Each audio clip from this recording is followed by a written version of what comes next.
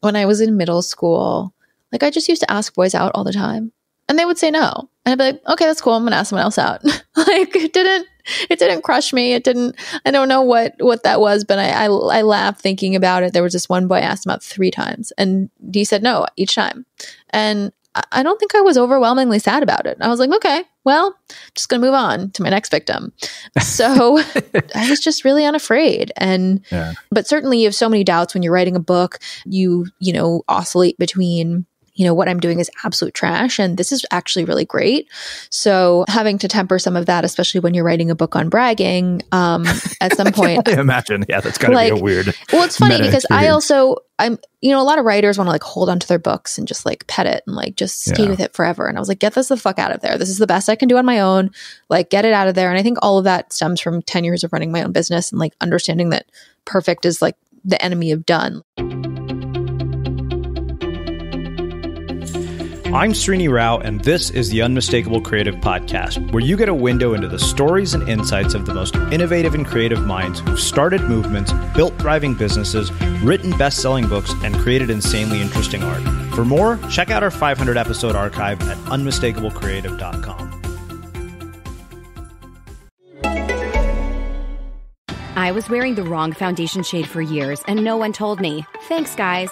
Then I discovered Il Makiage, the bold new beauty brand using AI to shade match. Their best selling Woke Up Like This foundation has 50,000 five star reviews and is a total game changer for my glow up. Plus, it's cruelty free. You can even try before you buy at home for 14 days risk free. Take the quiz and get your shade of flawless at ilmakiage.com slash quiz. That's I L M A K I A G E dot com slash quiz. Meredith, welcome to the Unmistakable Creative. Thanks so much for taking the time to join us. Thanks for having me. I'm really excited to be here. Yeah, it is my pleasure to have you here. So, I actually found out about your book by way of two people. One from one of our former guests who recommended you as somebody I should talk to, which to me, that is always the ultimate litmus test. Uh, but then I actually got an email from your publicist about this book, Brag Better Mastering the Art of uh, Fearless Self Promotion. And when I saw that, I was like, yeah, I think that that is something that is such an issue for so many people. But before we get into all that, um, I want to start by asking you what I think is, is somewhat of a relevant question to this. What social group were you a part of in high school, and what impact did that end up having on the choices that you've made throughout your life and career? um, so I am a dork. I've always been a dork. Um, I was definitely, I wouldn't say, God, if you say like you're not part of a social group, that means like you know, we all know what that means. So uh, I would say that I was the girl with the really, really, really good study guides. Um, all I did was work. Um, and I was like, I can't hang out. I have to do my homework. Uh, goody two shoes to the core. Um, so the really good study guides, I was not sharing them with the, you know, burnouts that wanted them.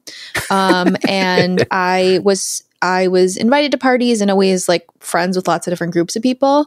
Um, so but I was definitely like the gunner. Um, and, you know, my friends were sweet, interesting, also dorks. And then, you know, I would have, I tend to think of my friendships, um, you know, if I ever got married in the traditional sense, which I don't know if I would, or if I'd had bridesmaids in the traditional sense, which again, I don't know that I would, uh, a lot of those people wouldn't know each other. So I like to think of friendships for me as, I mean, I lean more introverted, which means, you know, I value one on one time. So I kind of cherry pick my relationships. I, I don't really identify with groups as mm-hmm. much. I can't do that group thing, think thing. It, it freaks me out. Um, and so that's, I guess, how I would say it. I also went to a really small school. So I don't know how many groups there were, as in, as, as more just like we were all in it together. Yeah. Well, so the, the two things that come for that. One, I, I, wonder is how much of this was instilled by parents? Because, you know, I think when you grow up in an Indian family, work ethic is just sort of a, a given. My roommate was asking me, he said, so basically the expectation in your house was that you just got A's. He was like, what kind of grades did you get? I was like, oh, straight A's. I was like, yeah, I was like, if you came up with a B, it was just like, what the hell happened here? Uh, well, I mean, so you know, like what what was your, your parental environment yeah, like? Was this so, kind of instilled by them? So they were hard on me, I was hard on me, and my school was also very intense. So all of those things were like recipe for very good study guides. Um, mm. But that was so so. Yes, good grades were like not even a question. Um, you know, I'm Jewish, Jewish families and parents value intensely education and the person that recommended me sarah hurwitz one of my one of my very close friends. Uh, yeah so you know jews in general um, you know i won't attribute all of it to judaism but right. um, this understanding of learning and excelling intellectually. I also grew up in the media and politics bubble of washington which is you know peak intellectualism um, at its finest. So i'd say there's that piece. And then though coupled with so my mom uh, always worked. And she is a loud person. She always says what she thinks. She has absolutely no trouble um, speaking up for herself. In fact, staying quiet for her is absolutely not an option. Uh, so I think I saw that coupled with having a father who's a journalist and a pundit and seeing um, that you do your work, but you talk about it in public. Um, mm-hmm for a job. So I think those yeah. two things combined, then combined with my like goody two shoesness, like, you know, sitting with the teachers and like telling them I like their blouse, um, mm. that whole vibe, that energy was uh, just sort of, I was obsessed with grades, um, completely obsessed, uh, just t- too much, way, way, way too much so. And many, many years later, um, so I went to the University of Pennsylvania. It was not even a question to me that like I wasn't going to, you know, murder myself to get into an Ivy League school. That was all that mattered. Um, I actually was waitlisted at Penn and at Harvard. And my mom said to me, you know, I only know two people that have gotten off of the Harvard waiting list a Kennedy and someone who donated a million dollars. We're not doing either. Um, so I was like, okay, I'm going to Penn. Um, I didn't even uh-huh. like it that much when I toured it. Uh, I thought there wasn't enough grass. Um, I thought that you know it was. It, I just didn't like it. But I was like, I mean, I didn't murder myself for the past four years in high school, and then even beyond that in middle school um, to not go to an Ivy. And I think that my my um, metrics, especially being an entrepreneur and seeing the economy we are in now, is very different. But um, yeah, it was not even a question that like I had to get the best grades possible. And um, all my teachers knew that I would also spontaneously combust if I didn't. So I think that was the vibe. So, growing up as a daughter of a journalist in the midst of this sort of, you know, what you called intellectualism uh, bubble in, in DC, you know, and somebody who actually does play a huge role in media, uh, when you look at our, our, current media landscape today, you know, between sort of what is happening from, you know, the White House on down, what do you think is the responsibility of media creators today? Like what parts of, of you know the narrative can we actually do something about? Because i like i realize that everything i put on to this show actually contributes to this in some way or another yeah so so brag better is about a lot of things but one of the things it's about is all my time in and around media from my family to starting my own PR shop to being a freelance writer since I was 18 years old. I was just like always such a major fucking underachiever. Um, you know, stems from probably deep, deep seated feelings of inadequacy. Um, but, you know, I was watching this really, really intense inverse relationship between volume and merit, which was just that we rewarded loud. Um, this presidency is the most stark example. Um, and so I care so much that people that have done the work, um, I identify my audience as the qualified quiet, people that have done the work but don't know how to talk about it.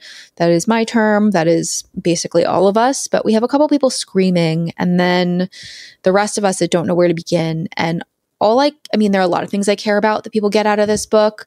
You know, that your accomplishments are worth talking about, that you feel um, worthy, that you feel okay talking about them. But honestly, like we are in a crisis of truth, we are in a crisis of information. Um, and if you've done the work and know the stuff, like we desperately need to hear from you. So that's more broad than like media creators. But mm-hmm. um, yeah, I mean, the level of like you know, misinformation and falsehood that exists and is so pervasive in media. Um, and I'm talking about like everything from trolls to and on social media to just people really trying to obscure the truth. Um, I mm. think that you know it's it's really hard because it's a business. So you know they want clicks, they want to maintain ads, they want like that's how they make money and stay alive. But um, you know, the facts really matter. And I really just care that people who um, know their shit start talking about it and I, I wasn't really i've been working on this concept since 2013 it's now 2020 and i i thought some about releasing it in a in a presidential you know election year um but not so much and it didn't occur to me uh how much i think this is actually civic duty um to Mhm. talk about what you know i'm sorry it's really hard to talk about your accomplishments but like we are so fucked um so please do So something that you you alluded to, um, you know, when you said that you know you're an underachiever, it, the, yeah, it stems from this deep sense of inadequacy. And I remember coming across a section of the book where you said that you were bullied when you were younger, and you know, I, I kind of wonder, you know, how you connect the dots between that and kind of leading to this, because I feel like there has to be a connection to that. Like, how did that shape and influence, you know, how you've ended up here and how you work with your clients? Yeah. Um I mean, listen, I've always been a tryhard.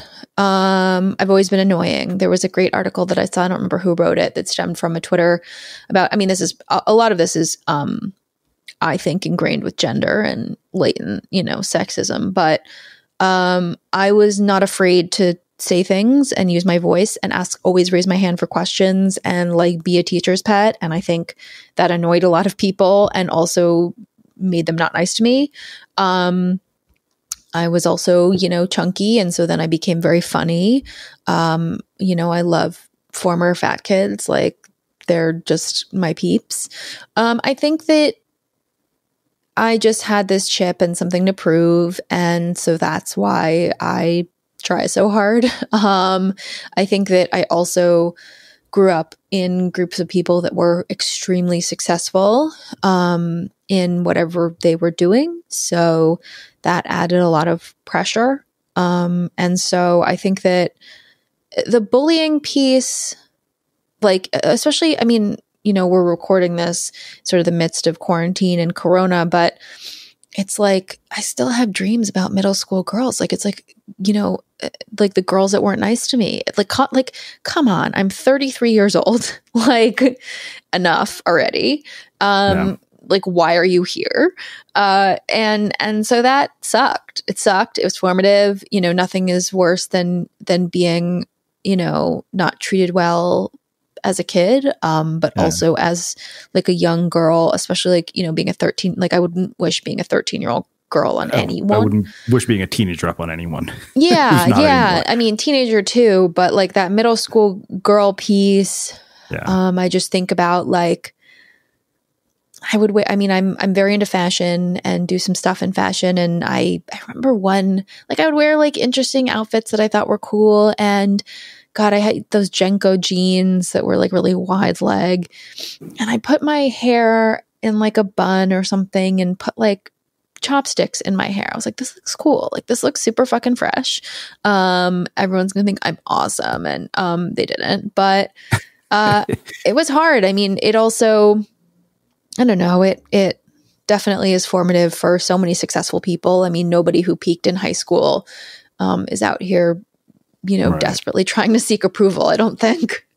Yeah.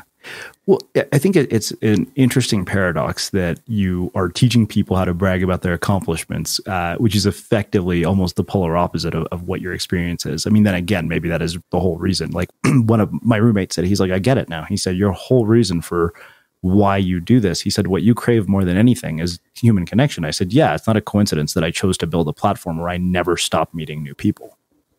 Yeah, um, and I've thought about that. I've thought about this. You know, I talk about this in a professional context. Um, I am very proud that Publishers Weekly wrote a nice review of Brag Better um, and talks about how a lot of these skill sets apply to other facets of your life. I'm very keen that like this is about touting your professional accomplishments.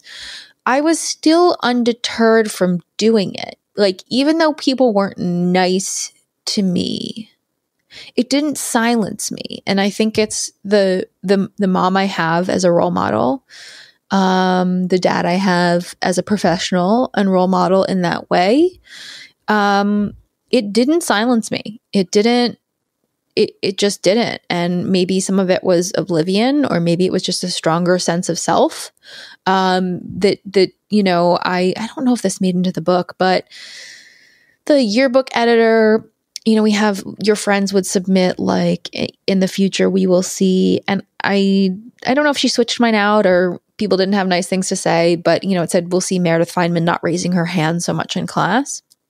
Um, and I think about that a lot because um, I'm still unafraid to ask questions. And yeah. I wish that on others around me too. I mean, I think about some of the things I've said, I've, you know, have been said to me uh, as a young woman, as a woman entrepreneur, as a woman in business, whether it's like, you know, a lot of the themes of brag better and women and silencing of their voices. Like, this is all just sort of stock classic um, policing of, of women's voices and opinions. And it's different mm-hmm. when it's among like teens and kids, but yeah. there are so many things that have been said to me, whether it's entrepreneurship is too hard for you, or maybe this is just a bad idea, or like, I don't know, maybe we should just like go get married and like do something else. I think about all the women that hear those things and then listen. Um, so I I just didn't. And so I I definitely have a strong sense of myself, even though, you know, and that's not to say I didn't have great friends. Like I um one of my best best friends from fourth grade. We were both, you know, I was chunky, she had a bowl cut. Um, and it was we have this cute, cute picture of us standing back to back when it was like cool to wear matching outfits with your friends. We were both wearing yellow t-shirts and black pants, and we look happy. Like we, you know, people weren't necessarily treating us well, but we, you know, had, you know, butchering the quote of that currency of being uncool together, and and that's still special. Yeah. So uh, you, when you talk about um, why bragging is so hard, one of the other things that you talk about is imposter syndrome. And you know, uh, the funny thing is, I feel like no matter who I talk to, no matter what they've accomplished, um, they all seem to feel this. I remember Danielle Laporte, of all people, who has sold probably tens of thousands of books, has like this massive audience by any account, is considered successful. She's like, everybody's faking it. And you, know, you hear that and you're like, wow, really? You feel this too? And I still do at certain moments. Yeah, you know, like I remember when I got my book deal, I was like, I'm the, you know, redheaded. I still say that, like I'm the redheaded stepchild of Penguin Portfolio. Like I'm the mistake. Yeah, I. That's something that everyone struggles with. So that's tied to bragging, but they're they're slightly different. But I think so, you know, the premise of Brag Better is that it's hard to talk about yourself and your accomplishments, but it's necessary to do so. And you got to figure out how to do it anyway to get what you want professionally and to get the recognition you deserve.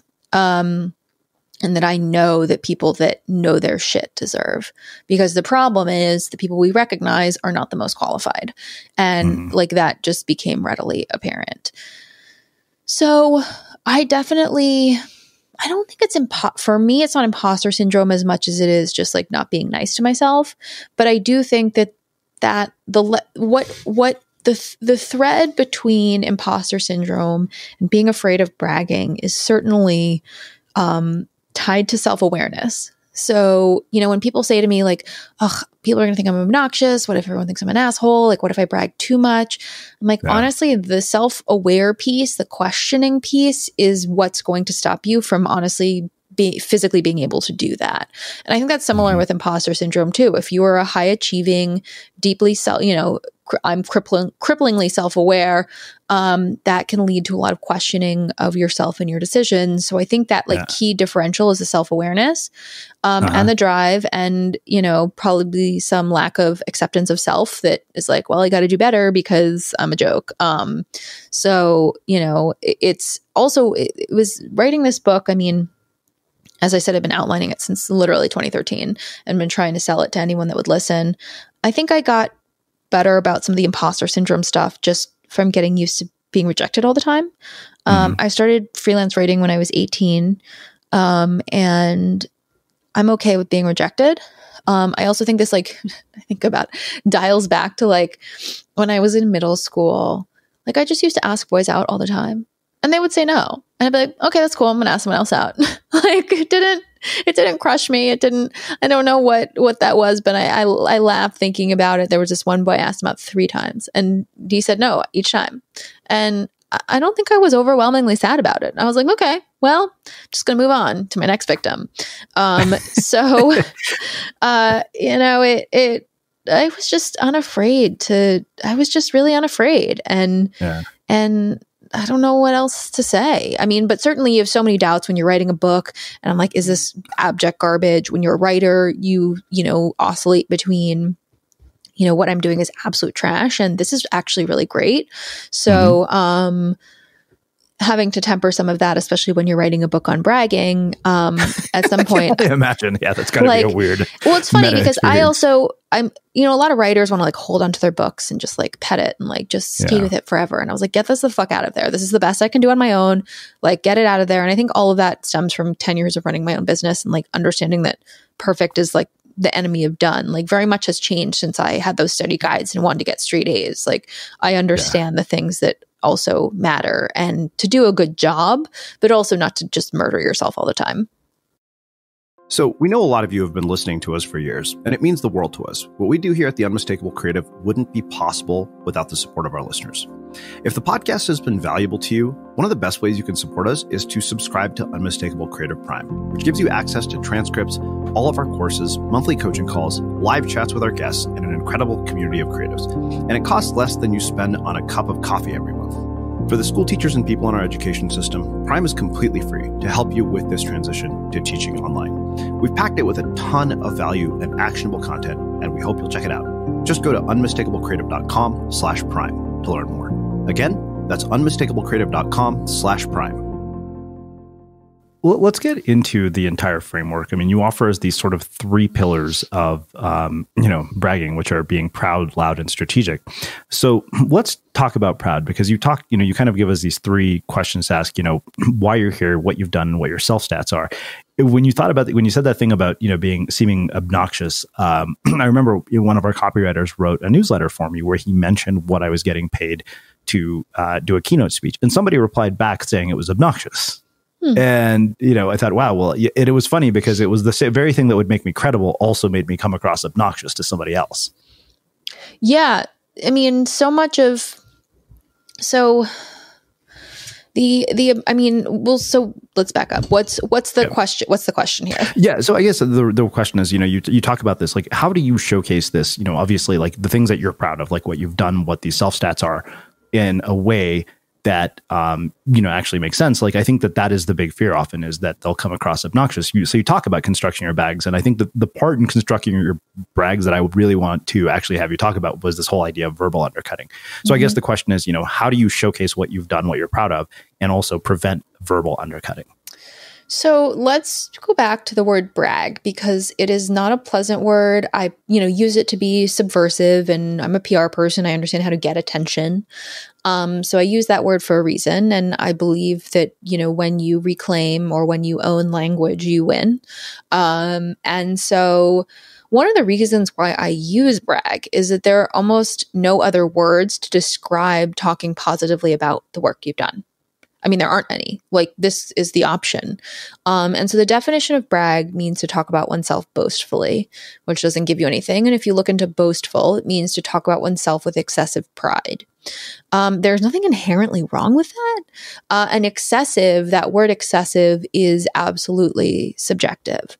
Um, so I'm guaranteed piss a lot of people off with my voice and with bragging. And, you know, you're going to it's going to highlight insecurities in other people. It's going to make people uncomfortable. Um, if you're a woman, it's going to be uh, even more complicated. If you are a person of color, it will be in, insanely complicated. So I care that people feel good in their brags and worry less about how it's being received, unless it's directly affecting your job, and realizing that people are going to talk about what they're going to talk about either way. Mm-hmm. Um, the obnoxious piece, that's a judgment, and you don't really know. And, you know, if you think about it, like, if you're sending your, let's say you have a 10,000 person newsletter and you're talking about what you get paid for a keynote, one person might think that's obnoxious because maybe they have an issue with money or they know they could never command that or they would be afraid to get on a stage and give a speech. You're the one putting yourself out there. I mean, it's very easy to take shots at putting, you know, at, at someone who's decided to to voice their opinions and put themselves in public. I put that, you know, in public can yeah. mean in your company with people you know in a networking situation. Um, and it's way easier to try to shoot them down than it is to like think about like, oh, I actually can't do that myself. Um, mm-hmm. Um, so I care, and I've been in, you know, I remember giving a speech at Stanford, and this group of women their women's conference and they were like vibrating with anxiety and i was like you guys seem really unhappy. Like i'm sorry. Um but you know they were like well, what about the studies that say if you're one study that says this and the study said i was like you can live and die by a 2000 person um you know sample size or realize that like people are going to say shit either way so you may as well feel good and like get it out there and like get what you can. Because for all the people that are like oh she's so obnoxious which guaranteed has been said about me just like say it behind my back so i don't have to hear it um, and i'll be less sad about it because like guaranteed people are saying that um, but there are a couple people who will be like oh that's awesome i'm going to reward her for that or oh i'll hire I'll hire him for a speech or wow, you know, I didn't think about charging that much myself. Like actually it's so powerful to tell people what you're paid so that other people who are underpaid can, you know, figure out how to ask for more money and what they deserve. Um, yeah. There's so much power in stating what you make. Um, I mean, that's so, so important for so many reasons, just to talk about money in general. And like nothing is more uncomfortable. Like if you think bragging is uncomfortable, adding the money piece, like yeah. that's just like everybody's deepest fears. So, you know, in an act of bravery to actually state your fees, um, is pretty rad because a lot of people won't do that, not for fear of judgment, but for mm-hmm. fear mm-hmm. of just like vulnerability and being real about money. And someone's be like, well, that's way too much money to charge. And someone else can be like, well, that's not enough. So mm-hmm. I don't know. I mean, I think you can live and die by by those people's opinions. Um, yeah. And then the verbal undercutting piece, I talk about the difference between self-deprecation and verbal undercutting. The former is if you can do it, you got to be careful. You know, poking fun at yourself, being lighthearted, but also driving home a strong message. Um, sort of how, you know, like I can say things like, you know, I'm cripplingly insecure, but I wrote this book and I'm proud of it. You know, it's mm-hmm. it's it's joking, it's whatever, it is self-deprecating, both things are true. Um and then the verbal undercutting is like, oh, you know, um this I'm trying to think of like a, you know, similar example, but um you know, oh, I don't know if this book is any good. Like I tried pretty insecure. So, like, I don't know, I kind of did my best and like I hope it turned out okay. I mean, the former no. endears you to people and I use humor as a way to disarm and, you know, just just how I communicate. Um and then the latter makes your listener, reader, viewer very uncomfortable. Um, mm. and, and if you're up, upset about what you're putting out, that radiates and that translates. So if I were to post about my book and say like, oh, like here's a plug. Like, I hate talking about myself, but like, here's a book about literally talking about yourself. So that couldn't yeah. apply in this case. Or to say, like, hey, I'm really proud and grateful of the opportunity that I got to like write this book. And I would love for you to pre order it. Like, it's all in the tone too. Like, uh-huh. and, and you think about writing and tone, like that translates to your audience.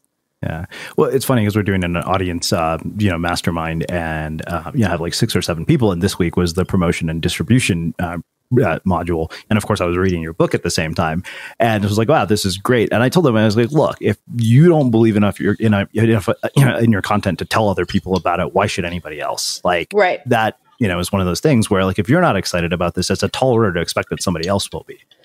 Well, and you can be excited about your work and not know how to talk about it.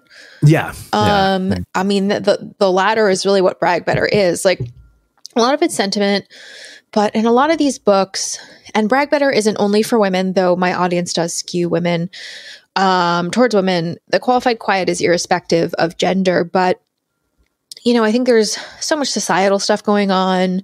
There's so many judgments going on. Um, it's about, I cared that it was full of tactics and like mm-hmm. things you can do today, tomorrow, this month, so that yeah. people felt a little bit better. Like it's not just like mm, be proud. Like that doesn't fucking work. Um, totally. because someone telling you how you should feel is just useless. So you know these are all tactics and things I've done to myself and trained others that, um, you know, allow you to brag better in a way that is tangible. And and then I care that it was peppered with interviews of lots of interesting people with very different backgrounds from me, um, talking about how they've experienced bragging better.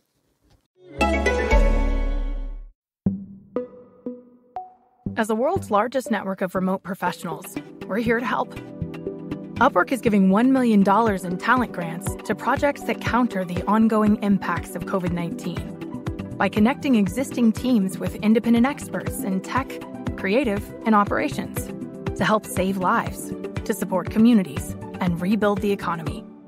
Go to upwork.com slash work together to learn more.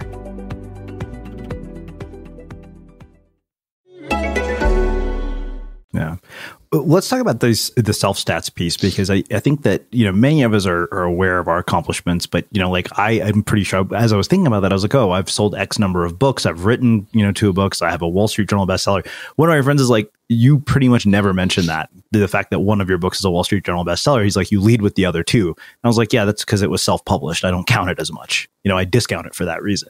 Yeah that's um, fucking dumb yeah, exactly. It's silly, right? Even though it, you know, now I'm hopping into like I represent you. I'd be like, well, that's the first thing you say because like, because yeah, exactly. you're like, because then you're like, oh, well, like that doesn't count because it was self published. So like, basically, I didn't get the approval of like some random white guy in a tower who exactly. like then took two years to publish it. Like, no, that's bullshit. Um, yeah. and and the thing is, here's the thing that means more to more people than the rest of it because they don't uh-huh. have the framework and they don't understand. When someone hears bestseller, it's like basically like third party validation. Like when you get press um, and you don't say, I've been seen. So I could pitch you and say, I want to be on your podcast and be like, okay, random person. I could be like, you know, I want to be on your podcast and I've been in the New York Times a bunch and I've written for Forbes and whatever. Those brands are endorsements. Um, mm-hmm. So you'd be crazy not to use that. And the number of people that, you know, don't get there are most people, 99.99999% of people.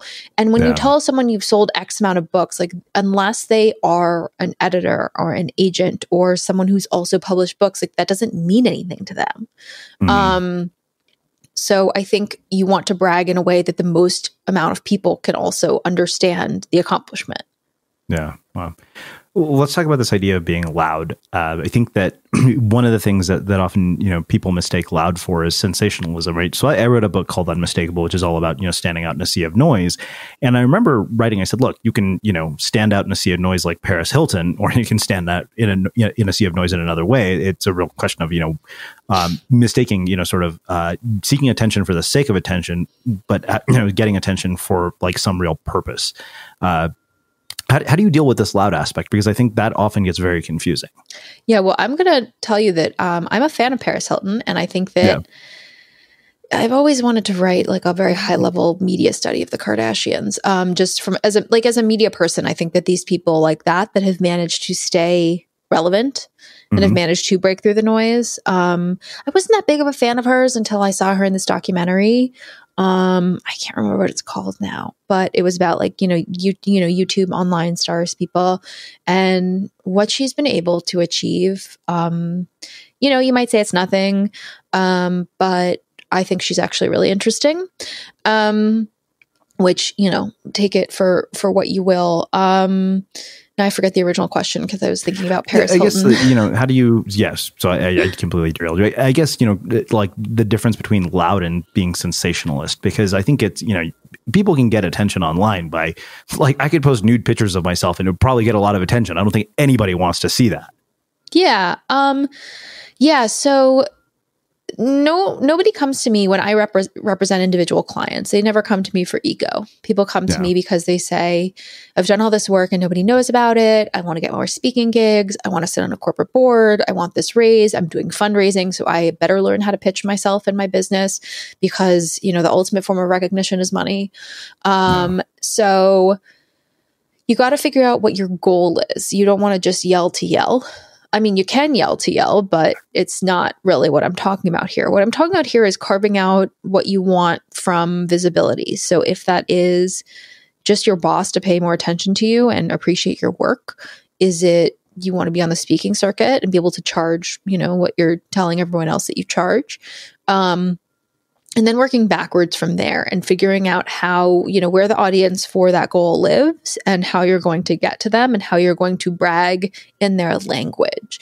Um, and you have to sort of brag and showcase your work to people in a way that they like to see it.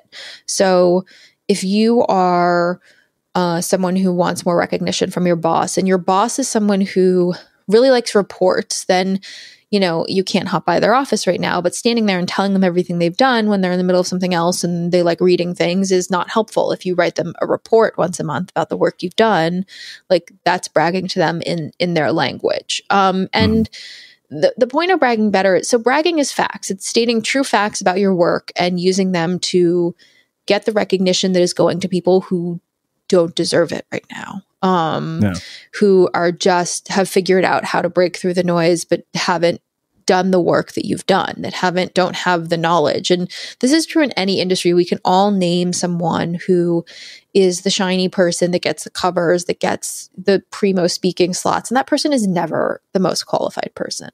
That Mhm. person just never is and so many clients come to me and say like my product is so much better than his but like he gets all these write-ups. Like why is that? I'm like well that person's bragging often bragging better about their work.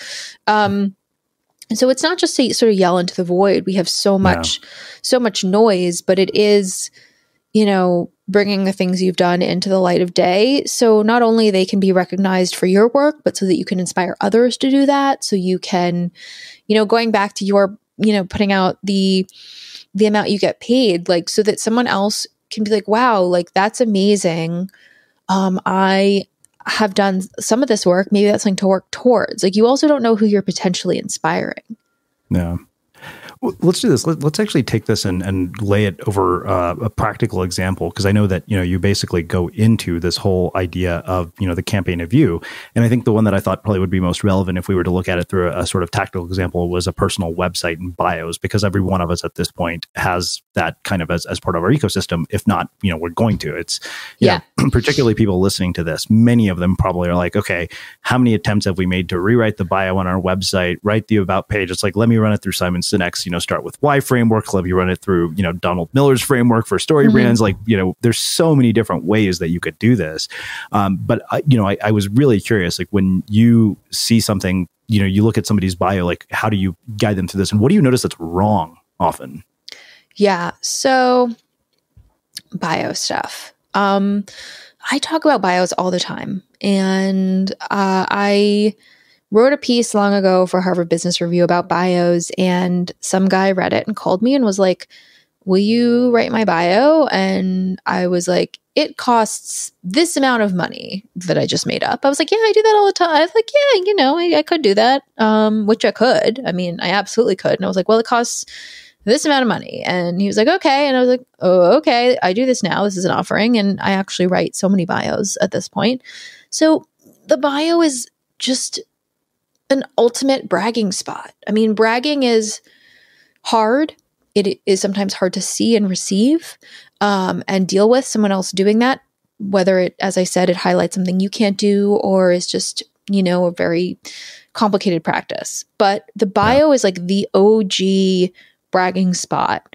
Um, and I get really frustrated. Like if that's a place you expect people to brag, like that Yeah. is that is already in our minds as somewhere where someone's entire work history and accolades and wins are displayed.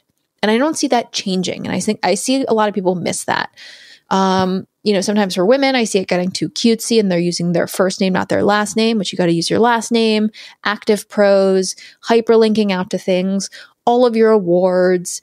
Like for you, you know, Wall Street Journal, best selling, you know, that's where it is because also, you know, people are going to think what they're going to think, but they're Yeah. used to seeing brags in a bio. So that is more accepted than a lot of other places, let's say.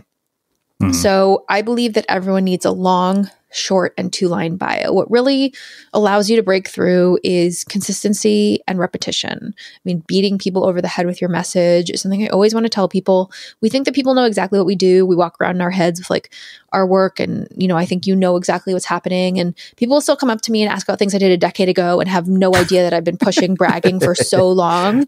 I'm like, how is Yeah. it possible that you don't know this? So, so you have to just really be consistent and Mhm. repetitive, which means that all your bios need to match. Um, if someone, a conference booker, a recruiter can't figure out who you are and what you want in 30 seconds or under, they're going to move on to someone who's packaged themselves better.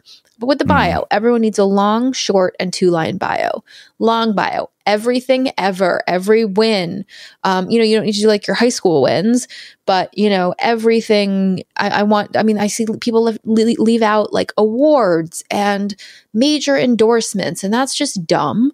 Um, Yeah. So that's the kitchen sink, and then from that, you boil down a paragraph, which is your short bio, which you can use um, in other places that don't have as much space, or if you're speaking at a conference and they need a short bio, and then a two line bio, which is just two lines about yourself that goes on your social media. They all need to match. You know, put in a quarterly reminder to update your bio so that you don't have to go back and think like years back. And then it's about having like a running Google document because we waste all this time. Every time someone asks for a bio, you reinvent the wheel mm. and then you write it out and you leave some things out, and that can be bad. And so much of this uh, also because so much of Brag Better comes from using PR skills is that you want to make it as easy as possible to pitch someone and have them pay attention to you. Yeah.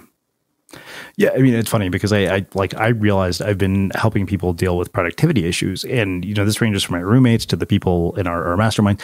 Unanimously, the the one issue I keep running across is people are a disaster productivity wise because of how they organize information. Yeah, and yours is just one example of that. It's like you know there's so much information in so many different silos. I'm like, so you spend half your day looking for shit. No wonder you're not getting anything done. Right. Yeah, I mean that's that's really important. Um but yes, having this document that you constantly upload that's the same everywhere cuz like for example, you know, if you have your paragraph bio and you are just taking the time to type it out, you might forget something that would mean a lot to someone at that conference, let's say. And then you can't capitalize on it. You can't get hired. You can't like if you forget to list all the other places you've spoken and you have the yeah. short bio, then people are like, "Oh, this might be their first gig. This is their first rodeo." Um, yeah. which sucks. Well, it, it's weird. Like I'm thinking about all the various things that I don't have anywhere on, you know, my website. I was like, oh, wow. I'm like, I have a Berkeley undergrad degree. I'm pretty sure that's not mentioned anywhere on my website. Uh, you know, yeah. and it's it's weird thinking about all this with you because I'm like, oh wow. Uh, but I think that one of the other things that you know you go into this this part three, which is you know to me it seems like you basically provided you know the theoretical components in part one, the tactical components in part two and the psychological components in part three, uh, just based on having read this. But I, I, think the two things that really struck me that you said were fear is normal and dissent is powerful. And I want to start with the dissent piece because Justine Musk um, once said to me, she said, if you have a bold and compelling point of view, it's going to piss people off. And that mm-hmm. always stayed with me. And so every time I get an email, it, like literally, I've had the spectrum be, your work is a disservice to humanity to this is a gift to the world. Yeah. Like, I mean, it's, you know, as, as opposite extremes as you could get. But, you know, why is it that people resist dissent despite knowing that, you know, anything that resonates with people is going to be polarizing? Yeah. So, I mean, yes, dissent is powerful, but it is also um, a sign that you are saying something of note and you are actually gaining traction in that audience. So, um, you know, my most one of my more recent endeavors is a podcast called "It Never Gets Old" about um, this world of secondhand and uh, resale, consignment, vintage, sustainable fashion. Um, and I, I, you know, there, there, are a lot of people that support me and they say nice things and whatever. And I got my first uh, really nasty review and it was about my voice, which we love nothing more than policing women's voices. Um, but it's still, I mean, I think about it, and I write about it, you know, like I, I feel it. Um, but you know, that means that someone took the time to like open up their Apple iTunes app or whatever and like type out this thing. Um, so it actually means you're winning. Like if everyone's just agreeing with you, you're not saying anything interesting and you're not going to gain more of an audience. Like the sign that you're growing an audience is that people start to disagree with you and they disagree with you loudly. Yeah. Um, and, you know, I'm not necessarily only talking about like the cesspool of the comment section, which right. sometimes just totally needs to be destroyed. But like you, you're, you know, and, and Luvvie Ajayi, who I interview in the book and is a friend, you know, she talks about how like if, you know, nobody's disagreeing you with you, you're probably not saying anything interesting or you're not saying it, you know, you're not, you're not really pushing yourself and you're not really coming up with new ideas. Um, and I think that, like people are always going to disagree with you, but it is a sign that you are getting outside of just the um, echo chamber of people that care about you and that like you and that are going to say nice things to you. Um, and so that that's actually proof of concept. Um, well, that's why I always say like when somebody says, "Hey, I just got my first two star review on my book," I'm like, "Congratulations! That means you're finally reaching people that don't like you." Exactly. And and yeah. listen, like a hate, you know, on my podcast, a hate stream is a hate stream. Like keep listening to it and hating it, like it, yeah. you know. Um, uh, so you you don't have to be there. You, can just not. You can just look away. You can just not Mm-hmm. review it. So you know whether you're espou- like whatever end of the spectrum of emotion you're espousing, it still means you're eliciting something from people um, Yeah. that makes them want to act on it, and and so that's wild. Well, it's funny because if you if you um, if you ever seen the movie Private Parts, like uh, the Howard Stern movie, like the there's a researcher that comes in and basically tells the marketing guys like, well, here's the deal. It was like, you know, everybody listens on average for two hours, um, and he basically said people who hate the guy listen for two hours, and Yeah. both groups of people say why. And it's like because I just want to see what he's going to say next. So even the people who hated him tuned in. you know, Yeah, uh, which was such a great example to me of okay you you know um, if you're willing to be polarizing even if you know there are people who will hate you but still somehow listen to you regularly yeah, yeah. I mean, it's you know, haters is a sign that you're you're making it because the bigger you are, the more people that are going to come for you because they're jealous, because they're angry, because you elicit something in them, an emotion in them, even if it's a negative one. That's power. Mhm. yeah so uh, there's one thing i, I don't want to leave this conversation um, without talking about because you've alluded to it throughout our conversation and i know that you referenced it throughout the book uh, and that is, is you know when it, it the, the contrast in terms of, of gender between you know, like women and men when you're dealing with this whole idea of bragging better do men not have any insecurity about this are they just obnoxious about it or like what is the what is the difference and how does it play out Yeah. So um, I've spent a lot of time thinking about this and experiencing this. So uh, bragging better is so much harder for women for many, many reasons. Positive attributes historically have been associated with positive behaviors. So she was coy, she was demure, she was quiet. You know, the, the message is shut up and look pretty. Um, that's the messaging. And then you see what happens when you are a woman who puts herself in public. You're policed from your ankles to your voice. Um, are you too pretty? Are you not pretty enough? Are you, you know, the impossible tightrope of age? Um, and then that like, you know, doubles and triples for women of color, um, and, and so many other layers of just bias, uh, and all the different isms. So, I really cared that Brag Better and that my audience, the qualified quiet, be irrespective of gender and of race, and to say that the ability to be heard isn't layered with privilege is just stupid. It is.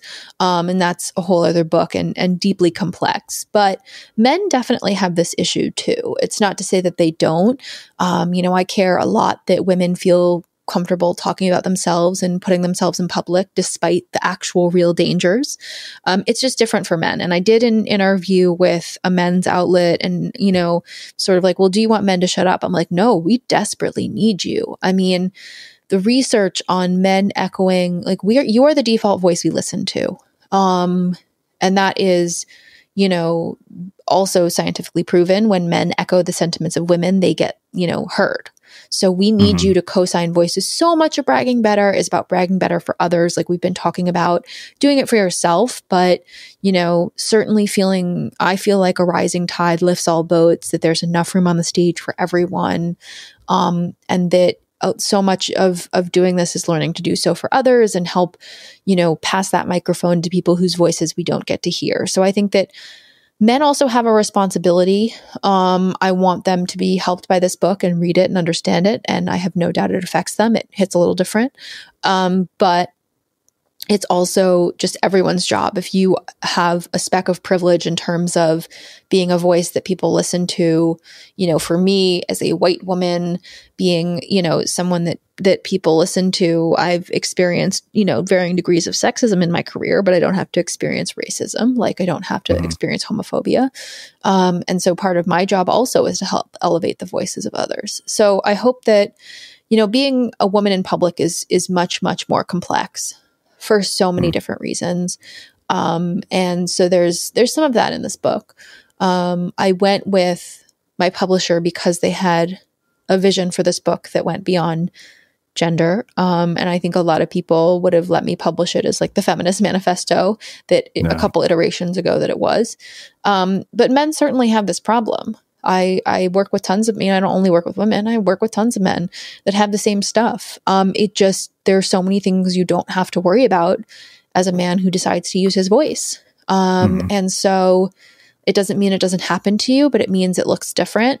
Um, and then there are things you need to understand, and then there are obligations, I think, and duties that you have that also just genuinely make you look better in inclusion of voices.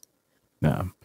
Well, so you know, I have two final questions about this. Um, what about race? You know, like I wonder this is as an Indian person because you know I've, I've had experiences with friends who are, are, white and they go into some situation. Like I was with my roommate, we were in some place in Colorado, and you know we walked in this hotel and everybody was like yucking it up with the bartender, and you know here I walk in and the place goes silent, and he notices like the blatant racism, and I'm like, let's just get a wine and a burger. It's been a long day, uh, and it never even like caught my attention.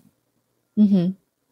Did it not catch your attention because it's something you're used to, or I'm just desensitized to it at this yeah. point? You know, yeah. it's kind of like I think white people are more concerned about racism towards Indian people than Indian people are. Well, I will say I cared a lot about the privilege aspect of this book, um, and so I made sure to interview, like, so basically. I was like, how do I deal with this? And do I do a whole chapter on it? And I don't want it to be the chapter on like non-white people. Like that's ridiculous. Um, so I just decided to pass the mic and elevate voices of interesting people who have different backgrounds from me. Many people of color, women of color, disabled women of color, trans people. Um, there's actually one man interviewed in the book. Sorry. Um, couldn't find any other men to interview. It was just kind of hard. Um, yeah. but uh, I I highlighted a lot of those things. The race portion I don't have to deal with, and that is mm-hmm. just fact um, and something that I think about a lot. Um, and I remember being on a big panel, and uh, this woman raised her hand and she was like, you know, I'm I'm a Latina woman, like how do I avoid being stereotyped at work? And it was only in that moment that I realized that we were four white women on a panel. Um, mm-hmm. and I was like, oh fuck, this is a bad look. And everyone started with like frameworks and bullshit. And I was like, just give me the microphone. I was like, listen, I don't have to deal with that. And I'm sorry. That is a whole other layer that I I acknowledge as a blind spot for me and wish that I could understand. Um, and I'm sorry. And like yeah. that was just sort of all that needed to be said. And I, I thought about that a lot in the book. Um, and it's just not I don't know shit about squat about it, like, because it hasn't affected me. And so instead, I just let people speak to what it's like being you know, black woman professional at a high level, or, you know, what it's like being a trans woman in a room of executives um, in the interviews that that I included. Hmm. Amazing. Well, um, I have one final question for you, which is how we finish all of our interviews at the Unmistakable Creative. What do you think it is that makes somebody or something unmistakable? Hmm. There's so many ways to interpret this question. Yeah that makes them simply unmistakable or also unmistakably creative? However, you want to answer it. Okay, hold on. I'm buying myself time. no worries. I'd say a commitment to self um, is just sort of the first thing that pops into my head. I think you sort of just like know when you meet someone and they're really in their them, you know, their themness or theirness or meanness or whatever. Like they're just like really themselves. Um, mm. I think that's cool. And I think it's like, to me at least, dead obvious when people aren't. I've worked a lot at like not just being like a, a robot, even though I want everyone to like think I'm shiny and cool and don't have any flaws. Um, so I would say someone that really just has a strong sense of self and you can tell. Amazing. Um, well, where can people find out more about you, your work, uh, the book, and everything else that you're up to? Yes, for the love of God, please order Brag Better. Um, so you can learn more about me at meredithfineman.com. Uh, you can learn more about Brag Better at brag-better.com. It is available wherever you get your books. If you want to support indie bookstores or that big guy, up to you. Um, I narrated it, so you can listen to my vocal fry in your ears. Um, and I, I would say my, I'm on all the social medias or whatever, but my uh, Instagram, which is also Meredith Fineman, is where I post all my best memes. Um, and that's where you can find me. Just, you know, get at me in any way. Um, and I'm really happy to have done this. Thank you so much. Oh, my pleasure. And for everybody listening, we will wrap the show with that. Thank you for listening to this episode of the Unmistakable Creative Podcast. While you were listening, were there any moments you found fascinating, inspiring, instructive, maybe even heartwarming? Can you think of anyone, a friend or a family member who would appreciate this moment? If so, take a second and share today's episode with that one person because good ideas and messages are meant to be shared. Did you know that with Drizly, you can actually get drinks delivered right to your door in under 60 minutes? Yep. With Drizly, the number one alcohol delivery app, all you have to do is open the app, shop a huge selection of beer, wine, and liquor, and hit order. Plus, you can shop across multiple stores in your area to find what you want at the best prices. Download the app or visit drizly.com. That's D R I Z L Y and use code SAVE to save $5 on your first order today.